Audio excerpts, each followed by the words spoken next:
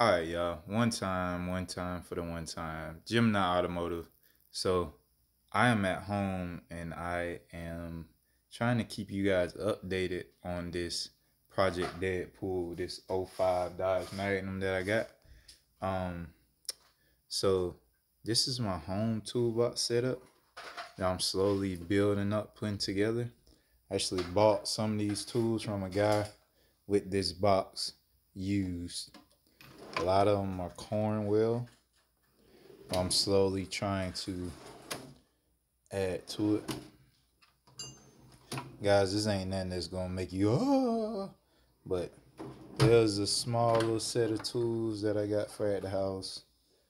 Uh, I got a lot of my stuff over here on the floor. Oh, this might be the new mascot of the channel. Coco, say hey. Coco. Coco. Say hey. My little standard poodle puppy. But uh yeah guys, so I do have something new to me, maybe to you all also. Um I have been sourcing parts for this car from different places.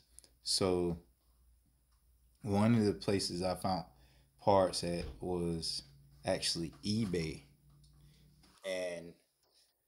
there's a, a actual place like it's a company a tire company that was created and basically what they do is recycle used tires but they actually clean them up check the threads repair any patches or anything that's needed like that and they'll actually measure the tread depth and let you know and i actually got this set of four tires for this Magnum. Four used tires, and they're about six to seven 30 seconds, which they actually don't look too terrible, guys. Like, it's pretty, it has a little bit of meat in there.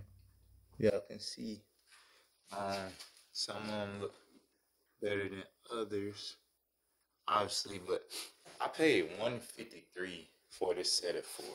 So just in case you guys are looking for some tires and it's you on a budget or whatever, I feel like it's actually a great deal. So right now what I got going on, and this is late night, guys. This is like eight in the afternoon uh, at night. I'm trying to get little stuff done. Actually, this is the rotor that was already on the car. I took it to work, sprayed that middle piece, scratched off some of that rust from right here. This is obviously the hub bearing. Scratched off some of that rust and painted that middle piece. Machined the rotor. And it actually doesn't look that bad. I should have painted right here, but not really worried about that. But it doesn't actually look that bad. Um, I called myself trying to save some money by ordering on line on advance. And I got the wrong pads so I literally had to go to the store, return them, and get the correct pads.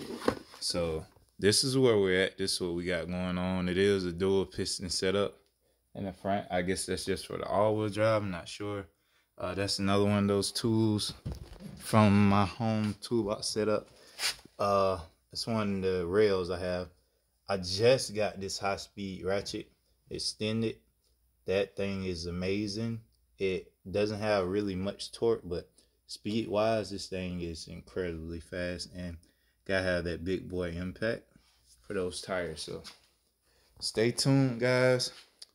I'm about to rock out, try to finish doing some work on this guy, get it ready. I'm gonna try to keep you up to date on the channel. So please stay tuned. Gemini signing out. All right.